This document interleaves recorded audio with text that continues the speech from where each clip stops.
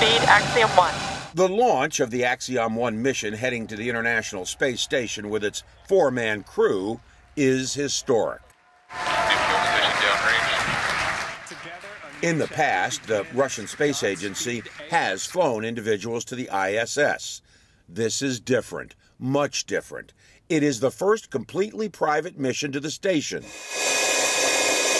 Axiom Space is using a SpaceX commercial vehicle. The commander of the crew is Axiom Vice President and former U.S. Space Shuttle astronaut Michael Lopez Alegria. The three other crew members from the U.S., Canada, and Israel are all paying customers, each reportedly paying $55 million for the trip. But this is not, the company insists, a spring break vacation. Everybody on the crew is, um, as I said, been very dedicated, very committed, very professional in this, and we really are taking this very, very seriously. It's uh, it is not tourism. I think it's fantastic that it's an international crew.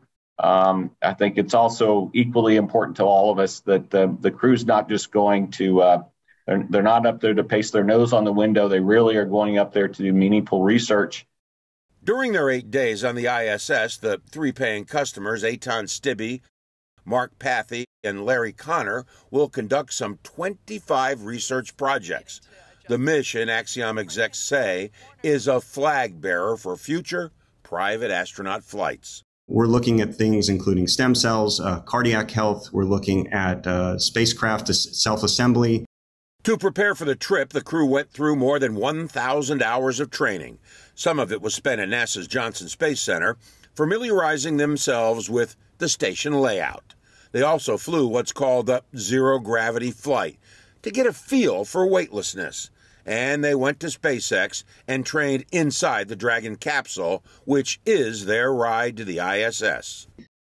This, Axiom says, is just the first of several planned flights, and it has even loftier goals.